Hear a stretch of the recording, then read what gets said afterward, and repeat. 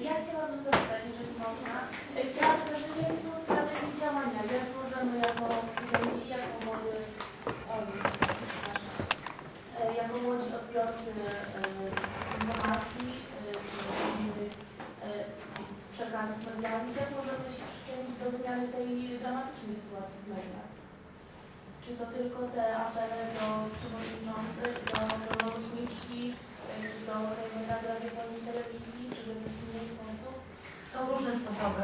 Ja pamiętam, e, jak byłam na konferencji bodajże w Estonii e, kilka lat temu m, i była dyskusja na temat właśnie dyskryminacji e, wobec stereotypów w mediach. E, Przedstawiciel, to mężczyzna z Danii, opowiedział taką historię, e, że któryś z duńskich dzienników zamieścił seksistowską reklamę. E, Jedna z organizacji kobiecych zainicjowała akcję, e, żeby wycofywać się z prenumeraty tej gazety, jeśli gazeta nie wycofa tej reklamy. Wymówień tej pre- prenumeraty było tak strasznie dużo, że gazeta zrezygnowała z tej reklamy, a co więcej, inne gazety nie odważyły się jej zamieszczać. Także można w ten sposób, e, można próbować od takiej strony e, coś, co- coś zadziałać, chociaż w Polsce raczej się to nie udaje. Nawet jeżeli są to seksistowskie reklamy, mało kto rezygnuje z tego telefonu i tak dalej. Najwięcej to się udaje to pisanie takich listów, że się nie zgadzam, że nie życzę sobie. Im więcej takich listów myślę, że dostanie redakcja po prostu od e, różnych osób z całej Polski, no będzie to takie pouczające, że sobie czytelniczki i czytelnicy tego typu tekstów po prostu nie życzą.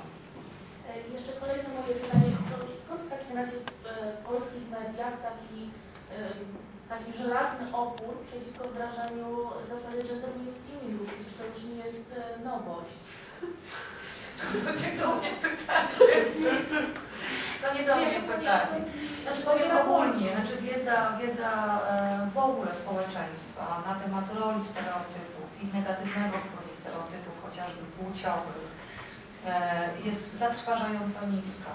Brak takiej edukacji od najmłodszych lat dotyczących równości między innymi w ogóle e, tego, żeby nikogo nie dyskryminować, jest na przerażająco niskim poziomie. Nie ma tego ani w przedszkolach, ani w szkołach, ani w szkołach średnich, podstawowych, gimnazjach. Nie ma tego na studiach albo w niewielkim tylko stopniu.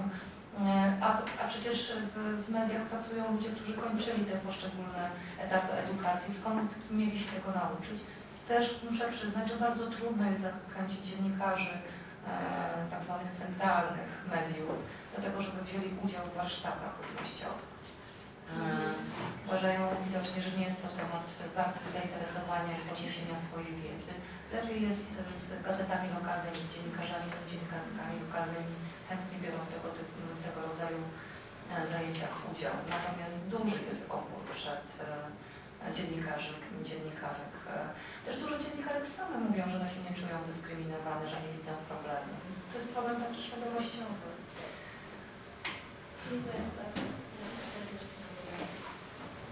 Ja myślę, że wydaje mi się, żeby właśnie magazyny było tyle, bo z jednej strony mamy te magazyny kobiece i jakby tutaj duża świadomość tego, że e, dziennikarki bardzo teraz propagu- propagują właśnie ten temat i w ogóle równości kobiet i praw kobiet, a z drugiej strony właśnie te wszystkie e, właśnie centralne media i, i e, prasa jakby tutaj publiczna i media publiczne, które właśnie się uchylają tego tematu, także tutaj jest, ale mam wrażenie, że chyba jest taki problem, że mamy jakby większe miasta, większą świadomość i jakby resztę, mm, resztę kraju załóżmy, gdzie, gdzie tak naprawdę nie jest to takie nagłaśniane i nie jest to w ogóle taki temat, o którym się dyskutuje.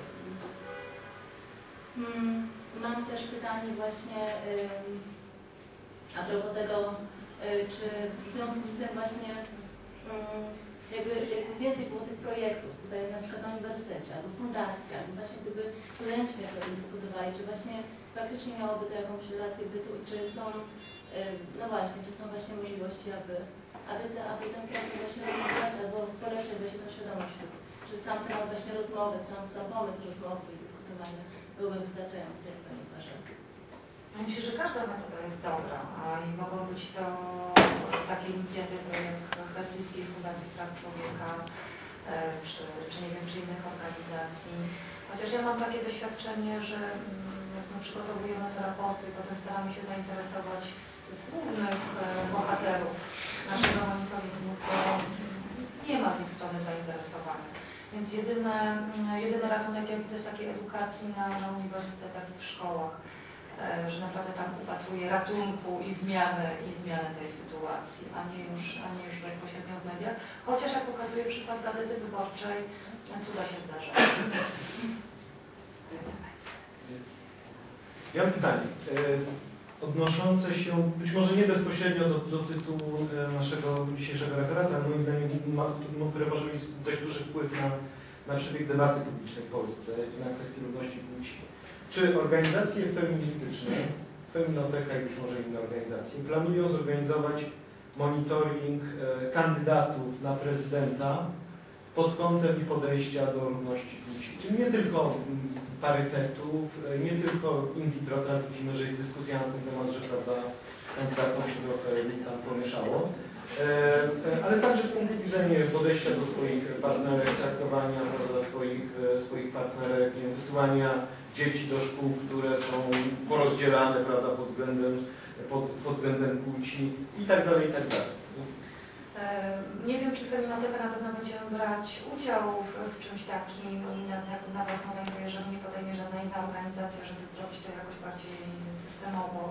E, Natomiast właściwie przy każdych wyborach, e, czy do parlamentu, e, czy, na, czy prezydenckich, e, tego typu lista pytań do kandydatów zawsze się pojawia i chodzimy na spotkanie i odpytujemy. Prawdopodobnie w tym roku taką rolę odegra Kongres Kobiet, który się już przemienił w stowarzyszenie i przypuszczam, że tutaj mm, będą podejmowane jakieś działania. A my zawsze też zachęcamy, przygotowujemy taką listę pytań do kandydatów, już jak się chodzi na spotkania, żeby odpytywać, przepytywać kandydatów. E, e, Także czy, czy będziemy robić my jako Feminoteka jakąś specjalną akcję, tego nie wiem. E, Natomiast będziemy bardzo obserwować wypowiedzi i komentować. Zresztą już są komentowane te wypowiedzi.